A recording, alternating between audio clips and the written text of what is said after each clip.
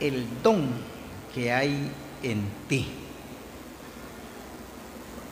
que te fue dado mediante profecía con la imposición de las manos del presbiterio. Hermanos y también hermanas, agradecemos a Dios por estar en estas santas conferencias, porque aquí está Cristo y hay que respetar la presencia del Señor para no estar comiendo golosina, chicle.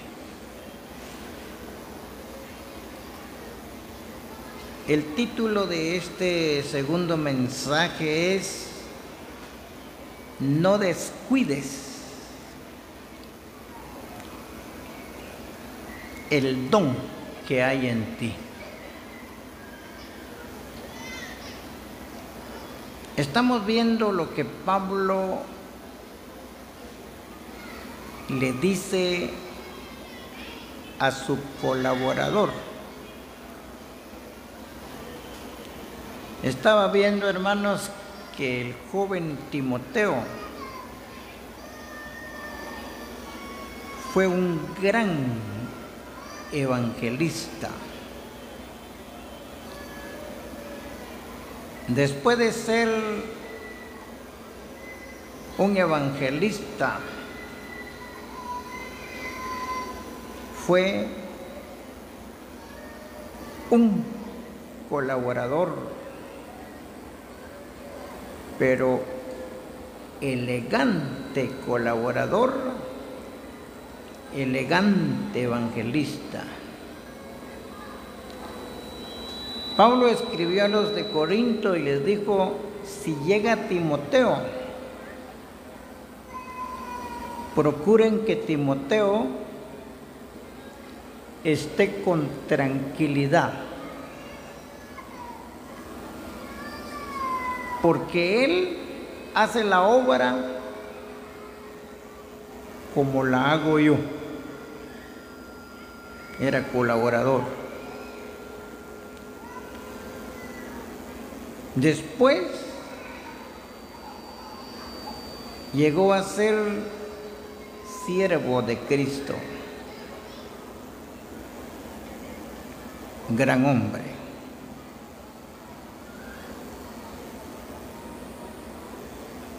Pablo, Pablo elogió a Timoteo. Dijo él, que no todos tengo del mismo ánimo como Timoteo y Epafrodito, no todos. En el joven Timoteo había un don elegante, hermanos. Pero ya murieron, ya murió Pablo, y ya murió Timoteo. Ahora es para nosotros. No descuides el don que hay en ti. No descuides porque hay descuido. Algunos se enojan a veces con los siervos. Esos siervos no nos dejan entrar. Es que se descuidó, hubo descuido y su descuido fue grave. No me quieren, no me aceptan, no me reciben. Es que se descuidó. No sé si ayer o antier oímos de la hermana que le dijeron, bueno, usted en tal lugar no va a entrar a trabajar, ahí tiene problema. Usted puede ir a trabajar donde quiera, donde quiera, pero ahí no. Ahí no. ¿Y por qué no? porque se descuidó, hay descuidos. Por eso Pablo también dijo, le dijo al joven, al joven Timoteo, ten cuidado de ti mismo y de la doctrina.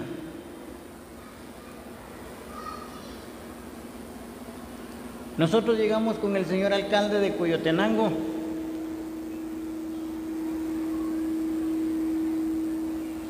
Llegamos y no estaba el alcalde, sino estaba el suplente. Dijo el hombre a la secretaria, vinieron los hermanos de la sala. Nos conocen. Vinieron los hermanos de la sala y vienen a pedir un permiso para sus conferencias. Esperemos que venga el alcalde, dijo la secretaria. Pero la palabra que me gustó lo que dijo el hombre, vinieron los hermanos de la sala.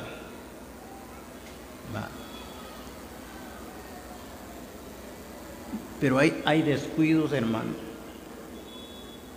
Y eso es lo que vamos a ver. En usted yo estoy oyendo a unos cantantes que lo están elogiando mucho, pero cantantes cristianos, pero no vayan a descuidar, porque es un don precioso.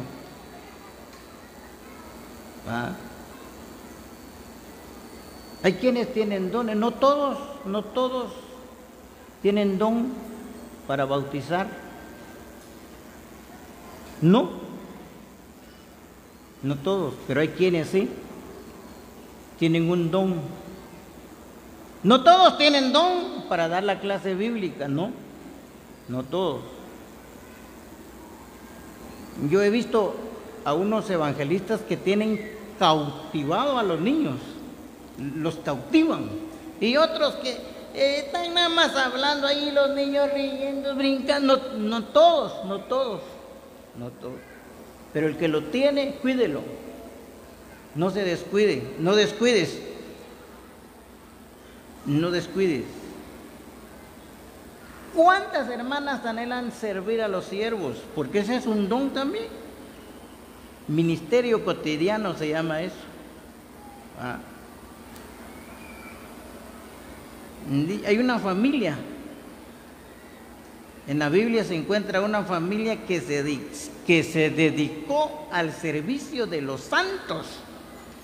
Y hay hermanas ahí en la cocina que tienen una gracia muy enorme, que no hacen acepción de persona para darle, le dan comida al rico y le dan comida al pobre.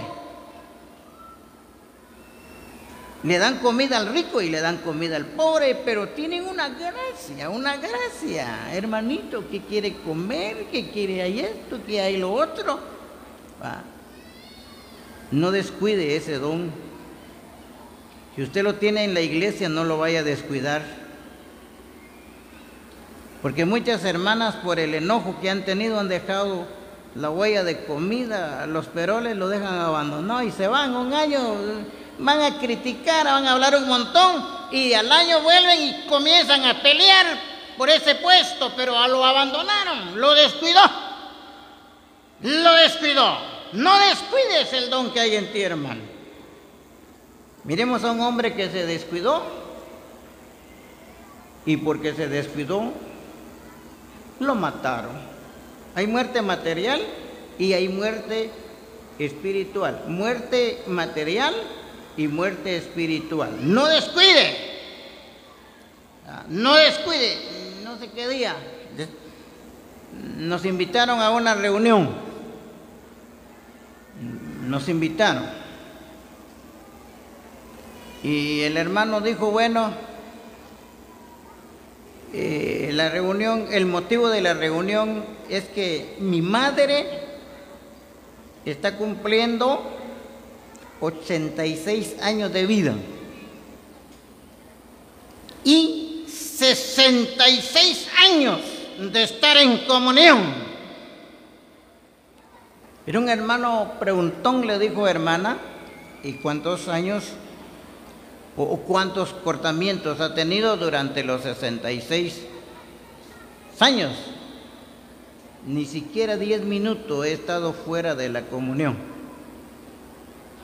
Fíjese, ha cuidado, ha cuidado su vida la hermana, mientras que otras hermanas ya tienen tres, sobre la cuarta van y son las que están alegando. Mm, no, no, no.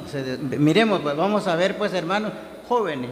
Yo conozco hace años el Señor me concedió predicar el Evangelio y vi a un jovencito, un niño de nueve años que se convirtió. El Señor me concedió verlo y gracias a Dios ya pasaron más de 35 años y ahí está el muchacho, ya está predicando predica y enseña la palabra. Ha mantenido, ha cuidado su vida, ha cuidado su vida, como el joven Timoteo, pero se necesita, eh, a veces se necesita fuerte, hermanos, ¿sí? Porque el joven Timoteo ahí estaba, ahí estaba, todo tímido, todo tímido, ah, todo tímido. Llegó Pablo y le dijo, por lo cual te aconsejo que avives el fuego del don de Dios que está en ti. Ese muchacho tomó esa palabra, tomó esa palabra, la ejercitó y el hombre llegó a ser un siervo de Cristo igual que el apóstol Pablo. Vamos a ver al hombre que le dije que se descuidó y lo mataron. Hay descuido, pero hay que... ¿ah? ¿Cuántas hermanas aquí, mire, se descuidaron? Se fueron con el incrédulo. Mm, se fueron, se fueron con el incrédulo. Y ahora va de pedir comunión hasta que se convierte el hombre. Ah, las hermanas en comunión se fueron con el incrédulo y se descuidaron. Y ahora lo están lamentando. No descuides el don que hay en ti. No descuides, hermano. Porque a veces hay descuido. Vamos a ver el segundo libro de Samuel. Miremos qué nos dice. Miremos, vamos a ver a un hombre que se descuidó. Grandes hombres, hermanos. Algunos. Ah, eh, yo estaba mirando el descuido de la, de la reina Esther.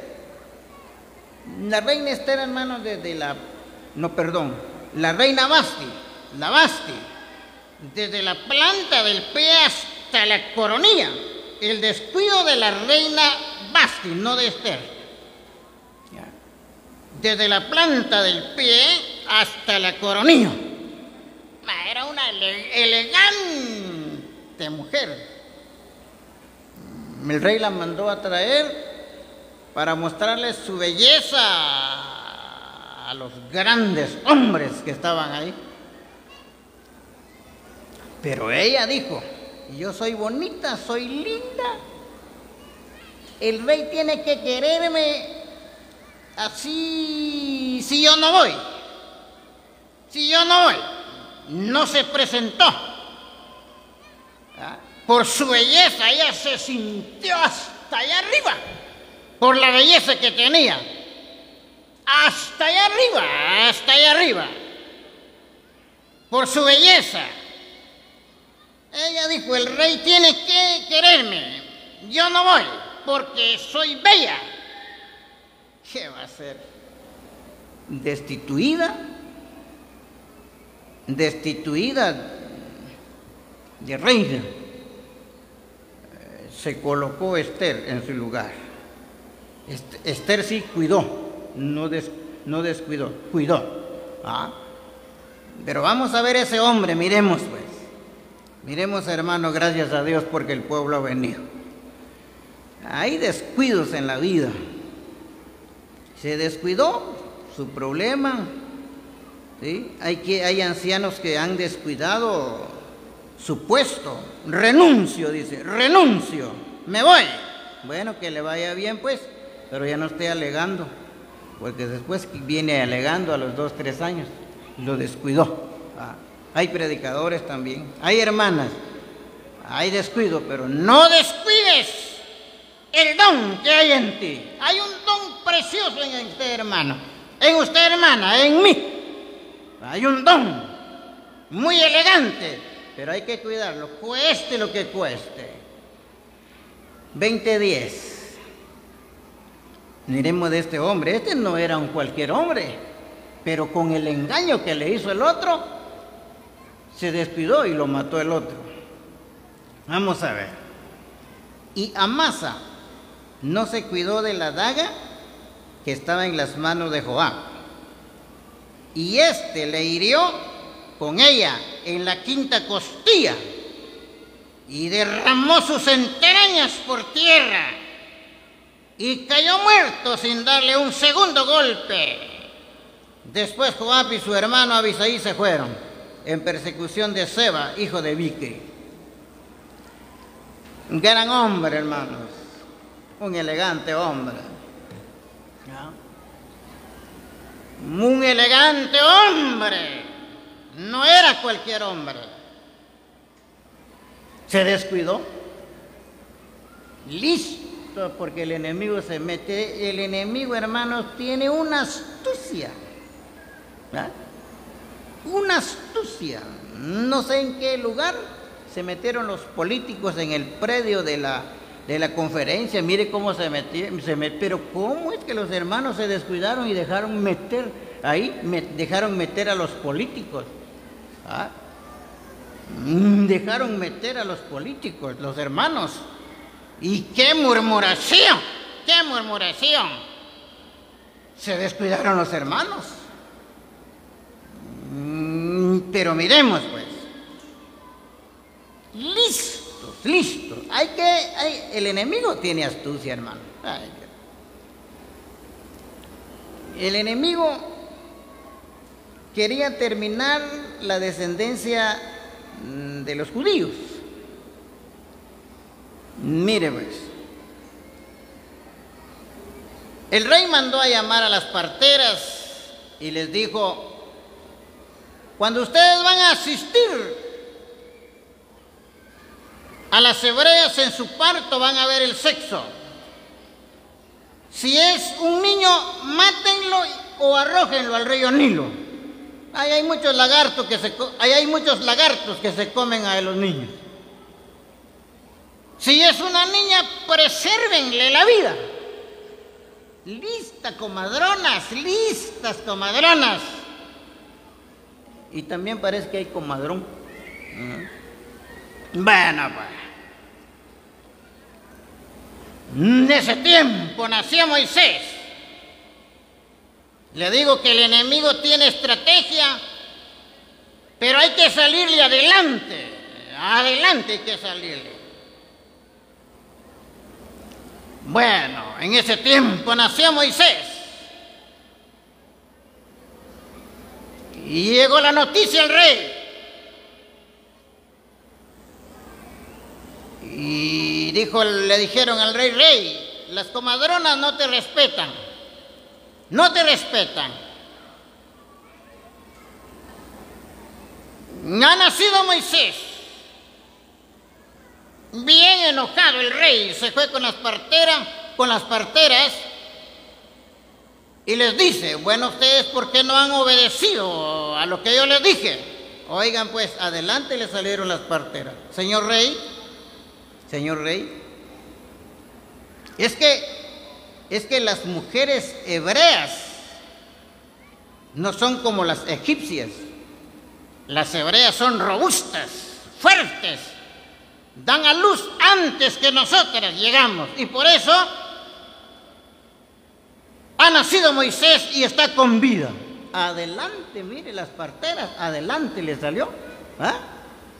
Adelante, fíjese hermano. ¿Qué haría usted, hermano, si le sale una su jovencita en la calle, en el camino? ¿Qué haría?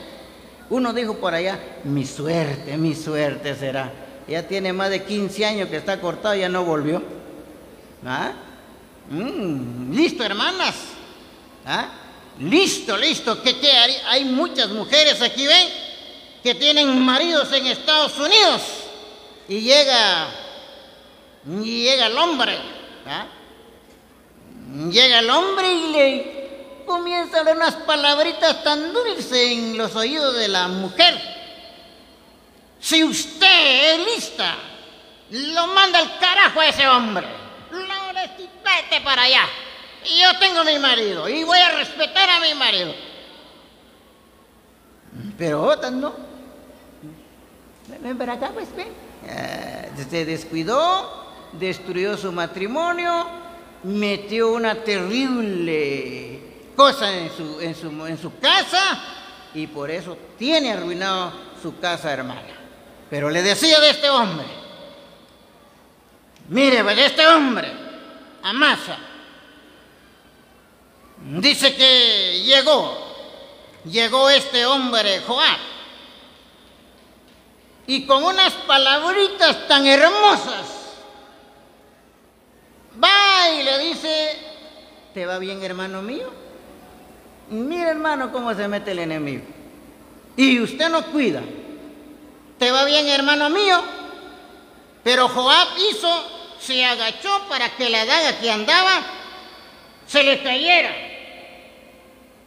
Se le cayó la daga a Joab, pero él con astucia lo hizo que cayera la daga. Pero se va con Amasa y le dice, ¿te va bien, hermano mío? Lo agarró de la barba y lo iba a besar. ¿ah? Lo iba, a besar lo iba cuando le metió el puñal aquí, mire, en la quinta costilla y se le derramó sus entrañas, le sacó las tripas. Amasa no se cuidó. Cuídese, hermano, cuide el don que hay en usted, hermana también. Cuide ese don que yo le he dado tiene el do, el ministerio cotidiano, cuídelo, presérvelo.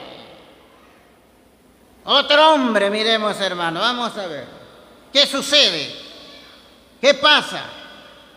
Miremos lo que dice Lamentaciones. Lamentaciones de Jeremías. Listos pues hermano.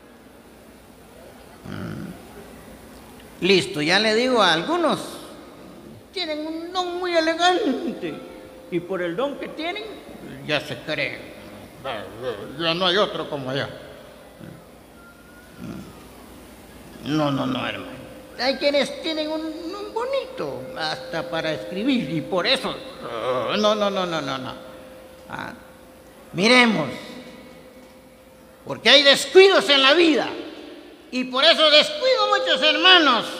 A veces están enojados con los siervos. Están enojados, se enojan.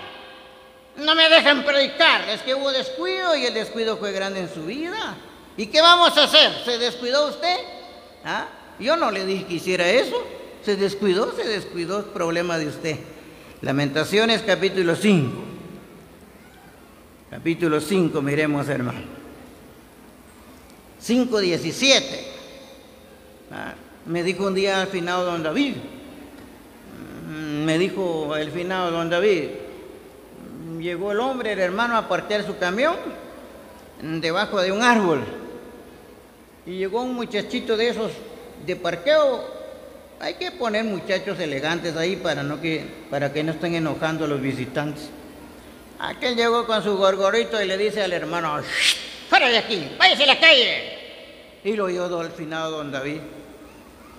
Ay, mi hermano Miguel me dijo, decirle a ese hombre, por favor vaya a decirle que deje, que deje al hermano, que deje su camión del hermano. Ese hombre es una perla, dejó su trabajo, da su camión, da su tiempo. Es una perla, es una perla el hombre. Y el otro lo está sacando.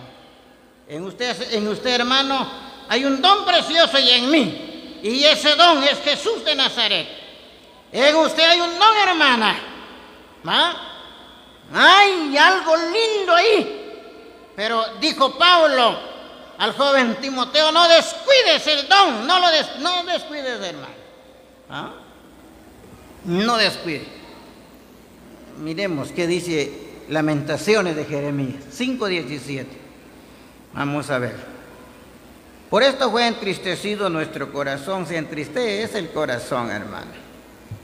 Se entristece el corazón porque el hermano se descuidó. Era un hombre elegante, muy elegante. Allá con nosotros llegó un evangelista, hermanos, invitamos al predicador, venga a predicar.